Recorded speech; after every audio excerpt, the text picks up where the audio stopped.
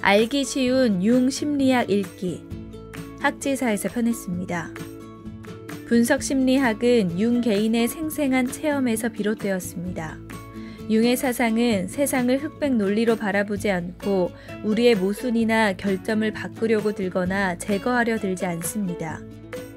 오히려 오늘날 우리가 왜 이러한 모습을 하고 있어야 했는지 그 의미를 발견하려고 노력했습니다. 융이 말하는 의식과 무의식, 페르조나 그림자, 아니마와 아니무스의 존재 등에 대해 저자는 자신의 생생한 체험을 바탕으로 독자들의 눈높이에 맞춰 이들을 알기 쉽게 풀어 설명합니다. 그럼으로써 융이 제시하는 기본 개념을 보다 확실하게 파악할 수 있도록 돕는 책입니다.